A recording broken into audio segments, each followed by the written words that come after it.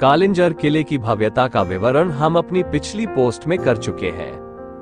अब प्रस्तुत है किले में प्राप्त अवशेषों व मूर्तियों का संग्रह विवरण। भारत में वैसे धरोहरों को सहेजने की परंपरा नहीं है। फिर भी कालिंजर किले के राजा अमान सिंह महल में स्थित म्यूज़ियम में लगभग 1800 अवशेषों तथा शिलालेखों को सहेजा गया है। कालिंजर दुर्ग परिसर के ध्वस्त मंदिरों की मूर्तियाँ प्राचीन स्मारक सुरक्षा कानून के तहत सुरक्षित घोषित की गई है। इसे विश्व पर्यटन के मानचित्र पर लाना अति आवश्यक है।